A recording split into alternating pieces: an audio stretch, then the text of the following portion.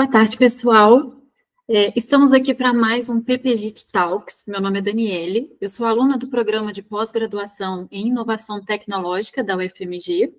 É, o objetivo do PPGIT Talks é promover a divulgação das atividades do programa né, e aumentar essa interação com todo o ecossistema de inovação, seja dentro e seja fora da UFMG. O PPGIT Talks, ele se propõe a fazer uma série de conversas informais com os próprios pesquisadores do programa, porque assim a gente consegue disseminar né, informações sobre as linhas de pesquisa, sobre as oportunidades que são oferecidas pelo PPGIT. E essa ação propriamente dita do PPGIT Talks, ela é resultado de uma disciplina sensacional que nós temos no programa, que tem o objetivo de incluir os discentes na cocriação do planejamento estratégico do curso. E é sempre bom a gente lembrar que esse programa da UFMG, ele é um programa interdisciplinar que possui docentes das mais diversas áreas de conhecimento. E hoje nós estamos aqui com nosso professor Frederic Fresar, do Instituto de Ciências Biológicas. É, primeiro, eu queria agradecer a presença, professor, a sua presença, a sua disponibilidade, a sua cordialidade de sempre, e pedir que o senhor inicie falando um pouquinho da sua trajetória profissional para nós.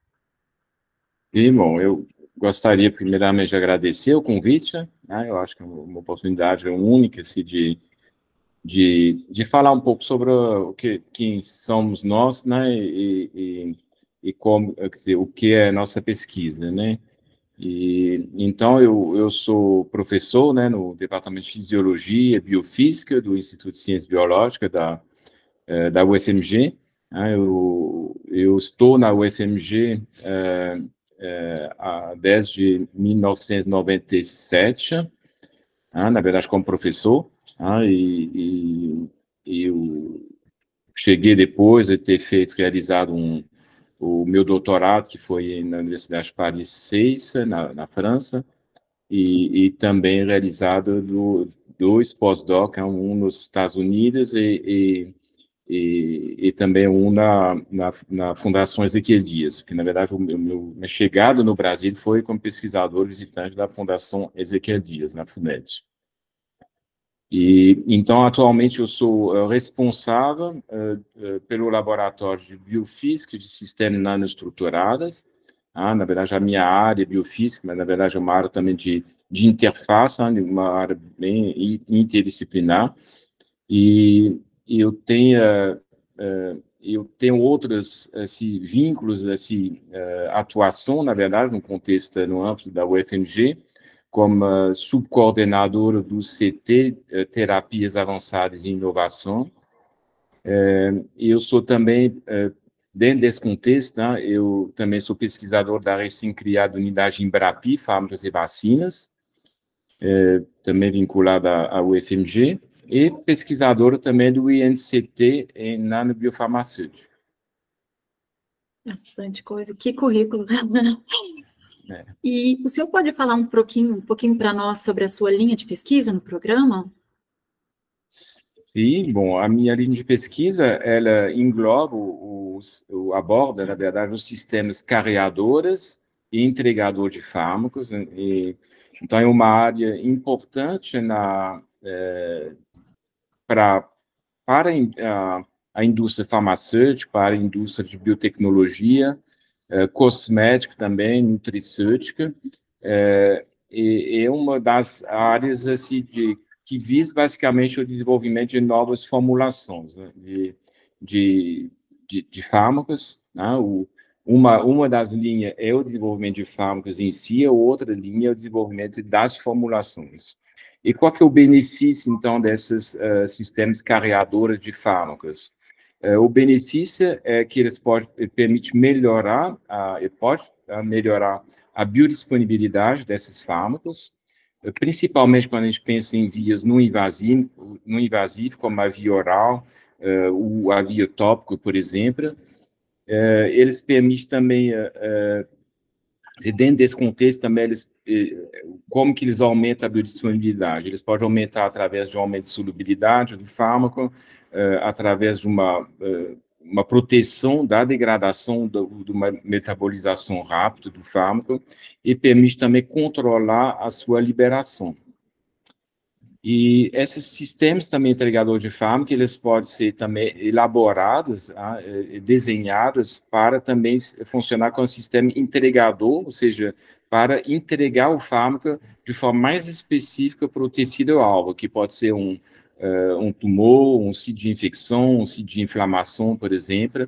Ah, então, essa é, é uma área, uh, uh, quer dizer, que é relativamente importante ah, na indústria farmacêutica, é uma tendência, na verdade, inclusive, de usar, de, eh, como a gente fala, de rejuvenescer fármacos antigos através da sua associação a, sistema de, a sistemas uh, que a gente chama de drug delivery sistema, mas uh, sistemas uh, carreadores ou entregador de, de, de fármacos. E é uma forma de, de você poder prolongar, na verdade, o uso daquele fármaco, e ser consumo por uma nova forma farmacêutica.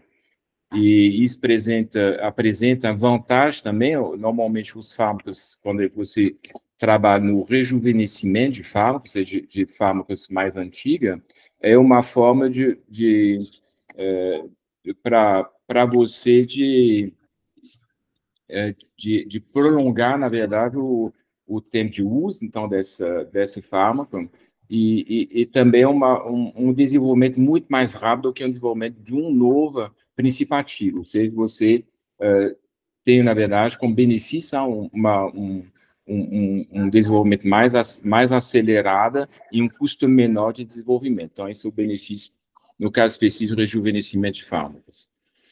E, e qual que, no final, se, qual, quais são os, o impacto desses sistemas carregadores, assim, em termos de pensar na, saúde, uh, na saúde humana ou animal? Uh, o impacto é uma redução da toxicidade do, do ativo, muitas vezes, e, e eventualmente um aumento de, de eficácia do, de atividade do fármaco. Isso graças à associação com um sistema, um sistema uh, carreador.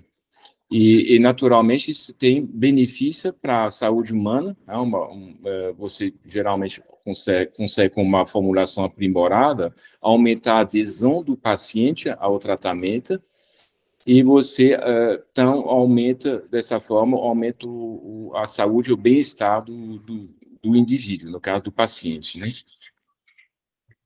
E, bom, quando a gente fala assim de, uh, de fármacos que são é, de fármacos que é, de, de nanosistemas carregadores de fármacos, na verdade, é, uma, é, um, é, um, é um universo, né? Porque são vários tipos de sistemas carreadores, é, tem sistemas poliméricos, tem sistemas lipídicos, é, tem sistemas é, que são de, de natureza metálica, por exemplo, e tem diferentes tamanhos é diferente também a, a morfologia e características, uh, muitas vezes. E o sistema uh, que eu, com o qual eu tenho mais expertise, que eu tenho trabalhado mais, são uh, que chamo de, uh, se inclua dentro dos nanosistemas lipídicos, então, ou seja, a base de lipídios, e, como a gente fala de nanossistema, ou seja, escala nanométrica. Né? A escala nanométrica ela tem uma, uma vantagem, assim, em termos de, de eh, de, principalmente em termos de eficácia, de, eh, primeira, ela tem uma vantagem em termos de, de maior segurança, quando a gente pensa em administração, por exemplo, intravenosa, então os sistemas em escala nanômetros são mais seguros do que os sistemas de maior, sistemas de maior, maior tamanho, e tem também uma, o benefício em termos de eficiência de entrega do fármaco, seja, você tem, aumenta a, a eficiência de, da entrega, o, o, você torna a entrega mais, mais assertiva assim, para o tecido, para a célula, célula alva. E o sistema com o qual eu tenho trabalhado, assim, dentro do sistema, no sistema de eu só vou diminuindo aqui, entrando no, mais, uh, mais no detalhe, né? Eu tenho trabalhado muito com sistemas, uh, os liposomas, uh, liposomas que são uh, sistemas vesiculares, e que são formados por membranas que basicamente isolam os compartimentos aquosa do é, meio externo, ou seja, você tem uma cavidade aquosa e uma membrana, ah, e são dois locais onde você pode depois inserir um fármaco é, nesses sistemas. E o que se destaca nesse sistema, que na verdade eles são muito assim, próximos, eles mimetizam as membranas biológicas, é, o seu alto biocompatibilidade, né, devido a essa característica uh, próxima dos sistemas biológicos, das membranas biológicas, e ele tem, eles têm também uma alta versatilidade em termos de composição lipídica, e, e você pode adequar a composição lipídica, é, a composição, as características, por exemplo, de superfície, você pode otimizar o sistema para uh, acomodar um determinado tipo de fármaco, e, uh, o, uh, e alcançar também o alvo, o alvo no caso do, do, do tratamento. É, em termos assim, de, só para ser um pouco mais específico, né, quais são o, ah, os principais projetos nos quais a gente atua, né? É, aí eu posso, na verdade, colocar eles assim, de uma forma assim, a gente trabalha com diferentes tipos de fármacos, né? E para cada fármaco, tem uma indicação normalmente terapêutica, e, e, aí, no caso, a gente escolhe, então, a gente vai utilizando o, o sistema carreadora, eh, a característica dele, de forma melhor, o acomodar de uma forma eh, mais efetiva o fármaco, e também de direcionar o fármaco para o local, para o tecido desejado. Então, eu, te, eu tenho trabalhado eh, com fármacos antimicrobianos, fármacos que a gente tem trabalhado muito com fármacos que são usados, por exemplo, na, na para tratamento de leishmaniose, como uma doença parasitária. É, também com fármacos que têm atividade antifúngicas, é, aí no caso, gente, então, visa é, tratamento de infecções fúngicas, principalmente infecções é, é, sistêmicas, é, tratamento, quer dizer, fármacos que têm atividade antiviral, fármacos que têm, uh, aí no caso de natureza peptídica, que tem, uh, uh, que tem atividade no, sistema vascular, ou seja, que são, são vasoativas, e que tem também atividade anti-inflamatória, então esse é um, outro tipo de fármaco. Então, para cada, cada tipo de fármaco, nós temos uma indicação específica. Então, a gente trabalha com um, um no momento, por exemplo, a gente trabalha com, vamos falar, uns cinco fármacos, tipo, classe de, de fármacos diferentes, e a gente aplica, é, então, essa, a gente procura melhorar a sua, a sua atividade, a sua eficácia e, e reduzir a sua toxicidade. Entendi. Então, cada é, temática dentro da linha de pesquisa se relaciona a, ao desenvolvimento de fármacos, seria isso? Isso. É, o ah, desenvolvimento, na verdade, seria novos medicamentos, né? Perfeito. Aí, seja usando um fármaco já conhecido, ah, e que, eu, que é o caso da maioria, ou eventualmente novos fármacos. Também nós temos interação com o departamento de química, que faz a síntese de novos fármacos, e aí nós também, para alguns fármacos, né, por exemplo, esses sistemas carregadores são, são importantes, por exemplo, se a gente tem um fármaco insolúvel em água, isso é um problema para a administração, por exemplo, intravenosa, porque uh, ele não, não pode ser administrado em, em, em, solução. Então, aí, no caso, a veiculação, a associação a um carreador, sistema carreador é importante. Aí, esse é um, é um caso também que estamos, uh, nós temos também exemplo de, de fármacos novos, que, para os quais nós aplicamos essa, essa, esses desenvolvimento de novas formas farmacêuticas. E o senhor falou sobre o departamento de química, é, então eu acho que é interessante falar um pouquinho é, sobre essa multidisciplinariedade. O senhor acha, o que o senhor acha desse contexto do programa, né, de poder juntar vários institutos, diferentes departamentos, qual que é a relevância? O que, que o senhor acredita sobre isso? É, na verdade, esse, essa, essa linha de pesquisa, ela envolve, tem, tem diferentes níveis, né, de uh, diferentes áreas, na verdade, ela, ela é realmente uh, multidisciplinar. Ah, o, se a gente explica um pouco mais assim, o, quer dizer, o foco do nosso, o nosso interesse, né, é são o sistema, é o sistema carregadora. Então, uhum. tem diferentes, uh, uh, vamos falar, diferentes uh, níveis de, de estudo com esse sistema. Então, o primeiro nível de estudo é, é primeiro o estudo do fármaco com o carregador. Ah, então, uhum. Então, envolve, na verdade, estudos físico-químicos, então envolve a química, ah, do, do, conhecimento da química do fármaco, da fisicoquímica da, da, de, do sistema carreador, no caso, no caso, eu trabalho mais com membranas, né, como eu comentei, membranas lipídicas, e a gente procura otimizar, então, graças a essa, a nessa, nessa interface, né, entre a, falaria entre química e biofísica, né, a gente procura otimizar a, a incorporação do fármaco nesse sistema carreador. Depois, um segundo nível é, é, é, é procurar, no caso, é, direcionar melhor o sistema carreador para o uh, tecido-alvo. E aí, nesse caso, a gente, aí uma interface agora com a área mais farmacologia, mais, a área mais, mais biológica, aonde a gente realmente tem, temos que entender melhor como que esse sistema carreador vai interagir com células, como que ele vai uhum. interagir com o tecido-alvo, qual vai ser o seu destino no, quando ele é administrado no, no, no, organismo. Então, isso envolve, tem toda a área de farmacologia aqui, né, e envolve também, um, uh, então, uma interface aqui importante, onde a gente procura otimizar, então, o, o, o nanosistema para que ele seja o melhor, uh, melhor direcionado para aquele tecido-alvo. Entendi.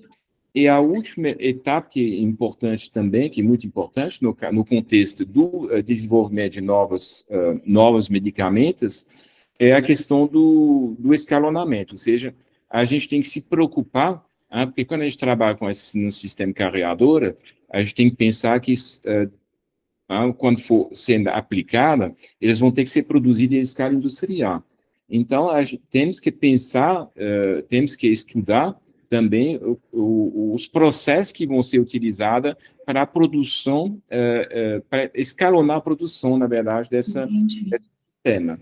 Então, aí envolve mais um aspecto mais de, vamos falar, de engenharia, uh, de, no caso, para, na, na, busca para otimização do processo e também na escolha, na, na escolha, e, e, na, na escolha do melhor processo para fazer a produção dessa formulação. E quando a gente vai buscar depois um, um parceiro industrial, é muito, é, geralmente parceiros industriais perguntam, mas vocês, como que a gente vai produzir isso? Qual, qual equipamento que nós vamos usar? Então, uhum. nós já temos que ter alguma uh, resposta e, e, e, a gente tem que incorporar essa, essa pesquisa já até desde o início no design do, do, do, do, do processo de produção dessa, de fabricação desse sistema. Ah, então, uhum. essa é, um, é também um, um, uma linha de pesquisa que é muito importante e que, que vai ser importante na hora mesmo do, da discussão uh, com, com a empresa, né? O, a empresa para a qual a tecnologia vai ser, vai ser transferida. É, sem dúvida, é uma linha de pesquisa de relevância estratégica, né? Porque tem a ver com a sustentabilidade da vida humana. Né? Tem Sim. uma pergunta para o senhor aqui, é, para a área de cosméticos, né? Tem algum projeto é, com alguma empresa relacionada à área de cosméticos, professor? Área da beleza, é. indústria da beleza? Isso, mas isso eu acho que, é, na verdade, nós temos dois, uh, nós tem, tem, temos tido dois, dois casos de sucesso, inclusive com é, é, produtos que alcançaram o mercado que foram justamente nessa área é, de cosmético. Aí, na verdade, é uma uhum. área, a área é de, que a gente chama de cosmecêutico, ou seja, é uma área de interface entre, o, entre a área farmacêutica e, e cosmético. Por quê? Porque, na verdade, estamos usando, nós temos um cosmético, mas que contém um princípio ativo. Uhum. Ou seja, esse princípio ativo é importante, então, para para que essa cos, cosmética se, se torne realmente eficaz.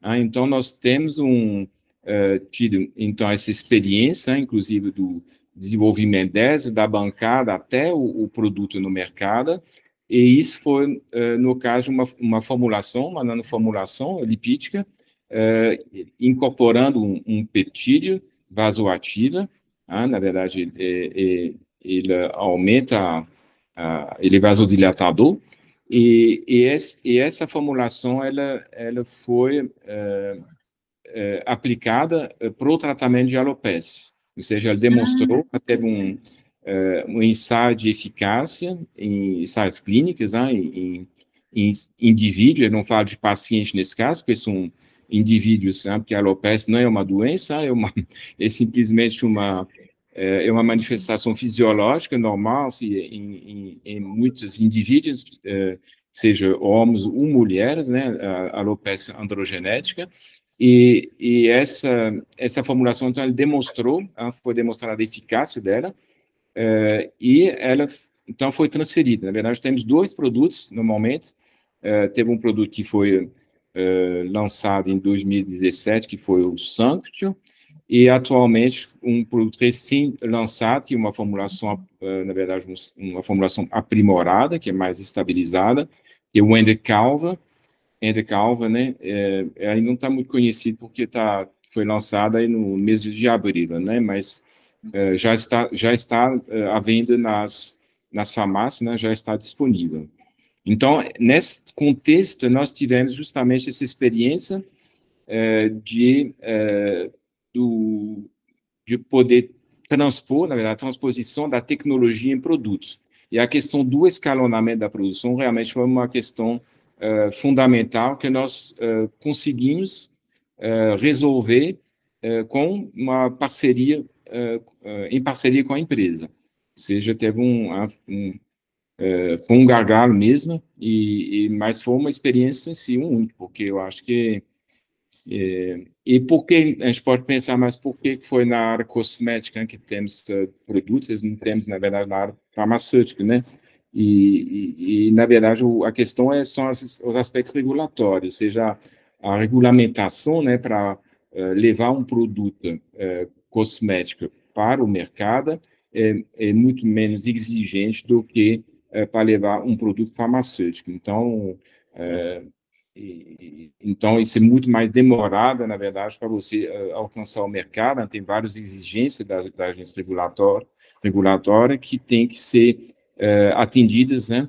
E, e é, isso toma, normalmente demora mais tempo, né? E, mas estamos trabalhando também com farmacêutico, né? Na verdade, o, a gente não pensa só no bem-estar, não é assim, na beleza, mas estamos pensando também na saúde, né? Como um todo. Com a saúde a saúde uh, humana, né? E animal, né? porque a gente temos também um, uh, uma parceria também com uma empresa veterinária, né? Visando o desenvolvimento também de um produto, um, um, visando o desenvolvimento de, de um produto farmacêutico para tratamento de leishmaniose visceral canina. Né? Então, isso está em, em andamento, mas eu não posso dar mais detalhe aqui. Então, é uma linha de pesquisa que tem interação é, com todos os setores da economia, né, professor? É, se na, os setores aqui têm uma, uma relação com a saúde humana, o animal, e, e, e é, na verdade, todos assim, é, é, são, são vários setores, né, que são, que a gente consegue governo, né, é, indústrias. É, e, e, e, tem, o, tem alguns também que eu acho que teria aplicação também para a área de nutricêutico, de alimentos funcionais, que ainda nós não temos ainda um, uh, trabalhado nessa linha, mas estamos buscando aí ideias, projetos. Aí uma né, ideia, então, pessoal. É. Se inscrevam, né, no programa. Lembrando aí, ó, que as inscrições são até dia 28, e quem tiver interesse né, em trabalhar na área nutricional com o professor, é, já, já deu a dica aqui, ó. E também é uma área que, é, se é, é um nível de regulamentação é, é mais assim, mais leve, né? Se, então, uhum. um desenvolvimento mais rápido, então tem a possibilidade do próprio se que fosse envolver ou desenvolver o seu o trabalho, né? Nessa nessa linha, de ver talvez o, o, o com poucos anos, né, é, um produto chegar ao mercado. Então, esse é aqui isso realmente é, um, é uma é uma grande satisfação, né, tem essa é, poder, na verdade, ver o que a pesquisa é, ela é, leva a alguma aplicação, é algum benefício para para a sociedade. Com certeza. E agora falando um pouquinho com relação ao perfil do, do, do candidato. O senhor poderia dizer para nós, assim, qual é a principal expectativa, né, dentro da sua linha de pesquisa, com relação ao perfil do candidato que vai entrar, que vai cursar essa linha de pesquisa do senhor? Bom, assim, eu, eu tenho tido, né, na verdade, tive vários orientado, orientando já, né, se, mas o, eu tenho tido mais procura por uh, candidata uh, que tem da área farmacêutica, assim, com graduação em, farma, em farmácia, mas eu tenho orientado também alunas na área de química, ah, bioquímica, e ciências também da ciência da saúde, né, enfermagem, então, acho que é bem amplo, assim, o, o, o, assim, em termos de formação, pelo menos, eu acho que bem amplo, eu acho que o, é, o, o perfil do, do candidato. Em termos de, de, de interesse, eu acho que é, o que a gente faz, na verdade, é uma pesquisa, a gente gosta de, de pesquisa básica, né, de, de, de estudar realmente a, a, os fundamentos, né, é, a, mecanismos, né, no, no sistema que, gente, que com o sistema que a gente trabalha, de interação, mas a gente, realmente a nossa pesquisa ela, ela tem um, ela é direcionada para aplicação. Ou seja, a gente já uhum. pensa no início, uh, quando a gente inicia o projeto, para qual qual vai ser a finalidade, qual vai ser o, o, o, que, o que estamos procurando. E, vamos, e, e a gente procura realmente, uh, então, uh, avançar o máximo possível né, no desenvolvimento daquela, daquela tecnologia, ou, daquele protótipo, então, eu acho que é importante o, o, o candidato tem essa, esse interesse também, né, se de, uh, de buscar aplicação, de ter interesse na aplicação, uh, no caso do, da, da sua pesquisa. Até nessa linha de raciocínio que o senhor falou, é, tem uma pergunta aqui, ó, do Wayne. Professor, um projeto de pesquisa que tem como objetivo abordar o aperfeiçoamento da transferência de tecnologia entre indústria e universidades é pertinente a qual linha de pesquisa? É, o aperfeiçoamento? Isso, transferência de tecnologia. Eu, eu, bom, eu, eu acho que se aplica, uh, que não só a minha área de pesquisa, na verdade, Sim. né? Se aplica a minha, com certeza. Agora, o, se aplica, eu acho, para os. Imagino para a grande maioria das linhas de pesquisa do programa porque eu acho que uh, essa, essa questão do a questão da interação universidade-empresa realmente é crítica, eu acho que é, é ela, ela, ela, é realmente um elemento é, é, fundamental, eu acho que o, o, aonde muitas vezes tem as entradas, né, uhum. para poder avançar, né, o, então tem a questão do, eu acho que eu tenho tido interações com a empresa, mas eu acho que a conversa, assim, a gente vai aprender, né? Eu acho que à medida que a gente vai, uh, vai, vai tendo esse, esse tipo de interação, né? Mas uh, teve muitos contatos, por exemplo, que não deram em nada, né? Assim, de, de, de, conversa com, com a empresa. Então, o, a, a, o fator de sucesso aqui é muito, muito pequeno. Eu acho que é, eu acho que, inclusive, eu acho que a, universidade, eu acho que ela tem muito ainda a, a, a contribuir, não só o, eu acho que eu vejo que muito o pesquisador tem um papel central, eu acho, na, nessa, nessa, nessa aproximação, nessa conversa com a empresa, mas eu acho que a, o, os setores né, do NIT da universidade, eu acho que tem um papel importante também, é, inclusive na, na busca de um parceiro, eu acho que industrial, e, e que eu acho que ainda está, se está é um processo difícil. Eu acho que então, o ENE venha para a universidade, né, professor, para contribuir aí com o aperfeiçoamento da transferência de tecnologia, que, sem Sim. dúvida, todas as linhas de pesquisa, né, do programa de inovação vão lidar, né, com a transferência de tecnologia em algum aspecto, né, entre universidade, entre indústria, é, então será muito bem-vindo, ENE. Com certeza. E como é que o senhor pode dizer para nós, para a gente fechar e abrir para as perguntas, para mais perguntas do chat, é, o que, que a linha de pesquisa, né, o que, que o senhor considera que a sua linha de pesquisa tem mais a contribuir para o futuro do pesquisador? Eu acho que tem uma formação multidisciplinar e, e, e também eu acho que de um, uma experiência uh, na, na, nessa interação universidade-empresa. Tá? Muito provavelmente ele vai, essa, essa, aluna vai ter essa experiência, essa interação com a empresa, né, que normalmente eu sempre uh, coloco meus alunos né, uh, na, nas conversas né, com, com, a empresa, e, e isso é uma experiência que uh, futuramente poderá ser aproveitada, né, essa experiência, o, e a formação, né, poderia, poderá ser aproveitada em, em vários ambientes, uh, uh, seja dentro da universidade ou fora da universidade, mas no, nos ambientes que a gente chama né, do ecossistema de inovação, né, que são múltiplos, né, que são realmente são um ecossistema que são muito dinâmica, né, eu acho que eles estão em mutações permanentes, né, são, são novos ambientes, na verdade, do mercado de trabalho, e, mas eu acho que essa, essa, com certeza, essa experiência, ela e a formação vão contribuir a, um, a eu acho que a facilitar a, a inserção posterior do, é, do, do, aluno no, no, no ambiente profissional. Bom, pelo menos no ambiente de inovação, né, que é o, o, uh, o foco do, do programa em inovação tecnológica. Perfeito. Temos mais alguma pergunta do chat?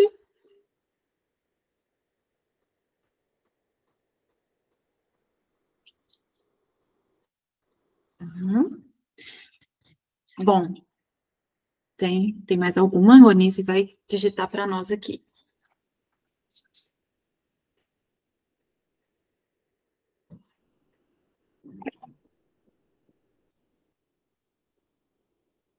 Bom, é, o desenvolvimento de fármacos é estratégico para a segurança nacional.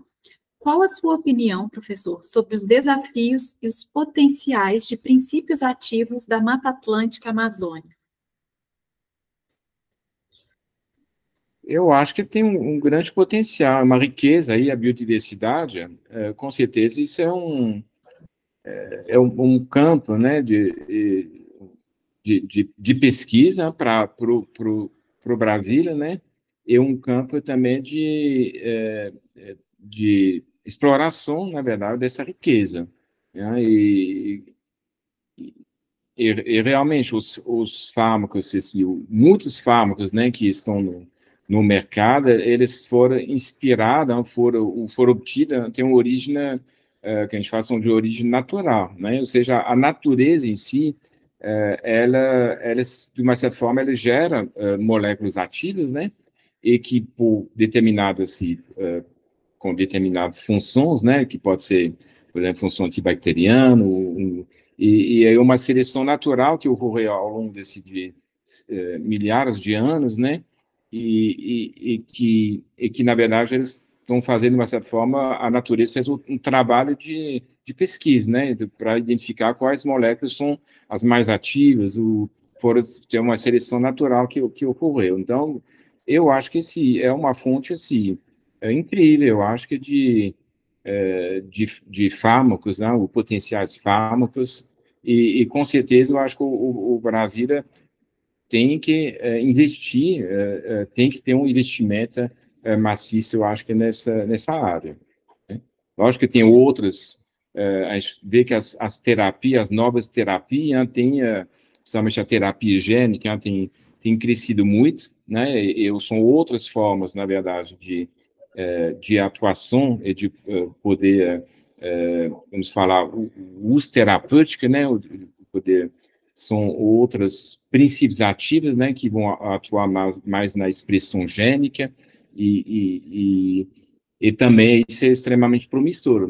Vamos, podemos falar que é só o caminho dos produtos naturais, né? Tem outros caminhos, novos caminhos que também estão extremamente, uh, extremamente promissores e, e, e, que vão ser, né, que nós vimos durante a pandemia nas vacinas de mRNA, por exemplo, uh, que o qual foi assim, o benefício, né? E, e foi um grande sucesso no, no desenvolvimento. Então, apostaria também nessa, nessa linha né, dos, uh, de, de, dos biofármacos, né, que a gente chama de biofármacos também. É, sem dúvida, a, a, riqueza natural brasileira né, tem um elevado potencial de, de pesquisa, de crescimento, de contribuição para a ciência. Né? Temos mais uma pergunta aqui para o senhor. Quais os principais desafios técnicos e científicos na pesquisa e no desenvolvimento de fármacos a partir de compostos bioativos desses ecossistemas. E aí, depois que você falar sobre isso, eu faço, continuo a pergunta aqui. Desafios técnicos, bom, eu... Científicos. É, científicos. Mas é uma pergunta muito difícil, né? Porque aí tem pouca, na verdade, é muita geral, né? Eu acho que eu acho que os desafios são de é, caso a caso, eu imagino, né? Se o é, porque bom, tem uma são uh, moléculas que são muitas vezes o fármaco é uma molécula muitas vezes bioinspirada, né? Inspirada de uma molécula natural.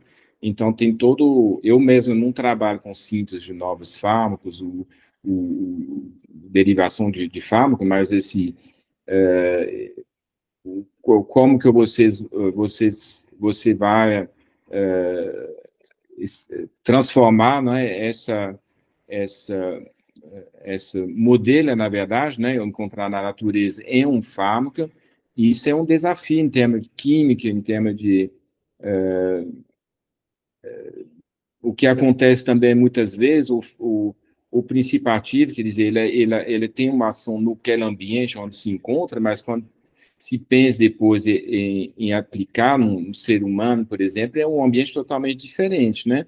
Então, o, o, às vezes o fármaco não é solúvel em água, ele tem um problema de solubilidade, então isso pode ser resolvido, uh, seja através de modificação química, ou pode ser resolvida uh, através de uma nova formulação, então tem, tem uh, Aqui temos um, inúmeros desafios, mas eu colocaria isso como um, estudo casa a casa. Assim, não, é difícil você, bom, uh, colocar se regras se, se o, o, gerais, né, se para uh, todos os, os fármacos, do, assim, os, os fármacos oriundos da, da biodiversidade. Uhum. E ele continua aqui, a pergunta continua. O senhor falou do tempo, né? No doutorado, é, na sua experiência, é possível desenvolver pesquisas que atinjam um produto final, né, que tenham realmente um produto final em quatro anos, né, é, é possível essa expectativa de desenvolver e, e chegar a, a, até o ponto de, de gerar um produto final? Bom, é difícil, mas eu acho que é, depende. Eu acho que se você começa o projeto uh, é, já com a participação de uma empresa, uma demanda de empresa, uhum. eu acho que é possível. Eu acho que é possível, porque aí você tem a empresa que está trabalhando junto com você, já com impulsionando a pesquisa, ou seja, a uhum. empresa já procura você já com o fármaco já definido, uma demanda bem específica, né, o, e o, o, o que ela quer realmente aprimorar. Então, eu acho que o que precisa ser aprimorado. Então, eu acho que a pesquisa aí fica muito mais uh, é, mais orientada, direcionada para realmente é, alcançar um produto. Ele tem uma pressão um pouco, talvez um pouco maior. Enquanto a pesquisa, quando ela é mais assim, do interesse, por exemplo, do pesquisador, né, e, é, às vezes, assim, não tem uma empresa que está associada, eu acho que o, o a, é um pouco mais lento, eu imagino, assim, né, o, igual, por exemplo, no caso dos cos, cosméticos, né, assim, o, o é, do, da formulação que foi para o desenvolvimento da para a alopécia, que a princípio um desenvolvimento bem mais rápido, como eu comentei, mas foi, foi bem do, se, saiu bem do, do, do inicinho, assim, uh, identificação do princípio ativo, desenvolvimento da formulação, da formulação, e, então isso levou, foi uh, uma tese de doutorado, aí a aluna depois ficou quatro anos como pós-doc, e aí saiu é, dois anos depois do pós-doc, o, é, o produto entrou no mercado. Então, foi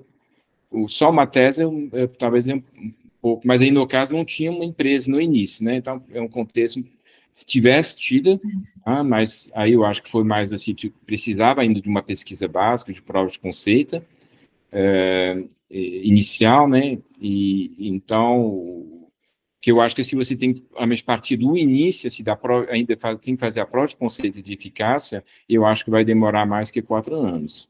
Agora, se você uhum. já, a empresa vamos, já tem a prova de conceito, algum tipo de prova de conceito que é uma, um aprimoramento de formulação, isso eu acho que quatro anos é, é, é possível. Então, uma dica seria é, já identificar oportunidades né, no, no, de negócio, Sim, né? Com certeza. É, tem mais uma pergunta para o senhor.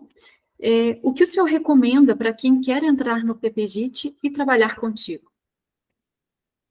Recomenda? Qual as dicas? É, vamos às dicas. Bom, eu acho que assim, eu, eu normalmente assim, eu, eu, eu, gosto dos alunos que tenham, que são proativas, né? Se, que são, que já têm uma ideia, eventualmente, né? Se uma proposta de até de projeto. É, lógico que eu tenho há muitos projetos aqui, se a gente consegue integrar, eu acho que a, a, a vontade, o interesse do aluno com o, o, os meus interesses, acho que é o ideal mesmo. É, mas assim, eu acho que é, é, eu, eu, recomendo assim, a, bom, é difícil, né?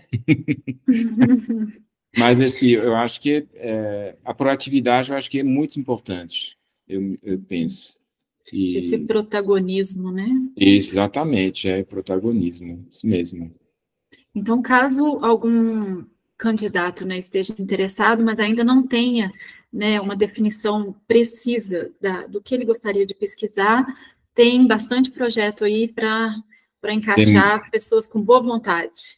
Tem muitos projetos, né, inclusive com, já com financiamento, então tem é, bolsa também, né, é, que são disponíveis, então tem é, que já são direcionados para um determinado projeto, mas são projetos de inovação, né, que visam realmente é, o, o, levar produto ao mercado, né, mais voltado assim, para voltar para a aplicação. Perfeito.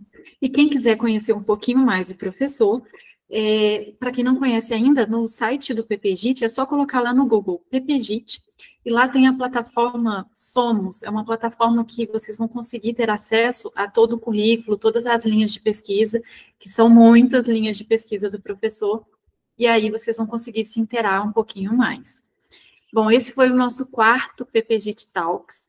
Nós conversamos com o professorado, o coordenador do programa, com a professora Juliana Crepaldi, professora Maria Tereza, e agora, para agradecer ainda mais essa nova, essa nossa interação, é, nós gostaríamos de agradecer a presença do professor Frederic Fresar, e queria agradecer, né, em nome de todo o grupo da disciplina de planejamento estratégico, é, agradecer a sua presença, a sua disponibilidade, a sua boa vontade de sempre, né? Aprendemos com certeza, aprendemos muito hoje sobre a importância da sua linha de pesquisa, sobre a sua relevância estratégica.